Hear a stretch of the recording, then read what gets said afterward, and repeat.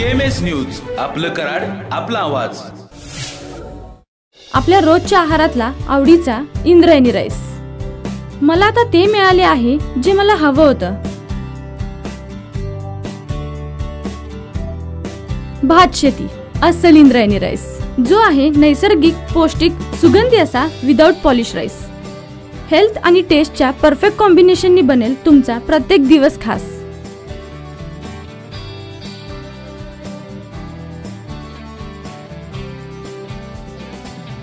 भात शेती इंद्रायणी राईस. प्रत्येक कुटुंबाची पहिली पसंती. सातारा येथे भारतामधलं पहिलं सैन्य स्कूल एकोणीसशे एकसष्ट साली सुरू झालं.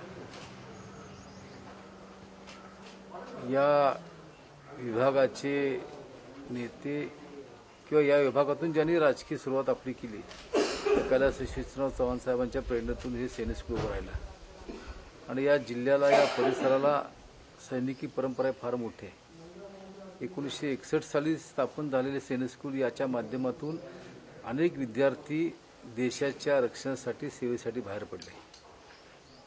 अनेक जण त्यापैकी शहीदी झाले आहेत कालांतरानं आता नवीन काळाप्रमाणे यामध्ये बदल करणं आवश्यक आहे.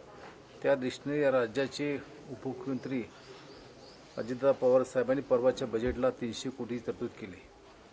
आणि यामध्ये साधारणपणे हा निधी टप्प्याटप्प्याने येणार आहे. आणि त्यामध्ये ज्या सुधारणा करायच्या आहेत त्या सुधारणा करण्याच्या दृष्टीनं एक प्लॅन आपण इथे तयार करतोय.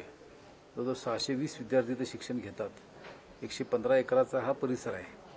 आणि मग तो प्लॅन अंतिम झाल्यानंतर टप्प्याटप्प्याने ती कामं घेतली जातील. आणि एक वेगळ्या प्रकारचं स्कूल इथं जे काम करते ते अधिक गतीने काम निश्चित करेल.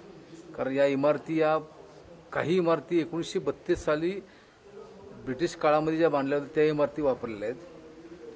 आणि साधारणपणे बासष्ट साली काही इमारती बांधल्या आहेत अशा प्रकारच्या इमारती आहेत. आणि त्यामध्ये बदल करणं हे आवश्यक आहे. त्या दृष्टीनं अजितदादा पवार साहेबांनी ही तरतूद केली आहे.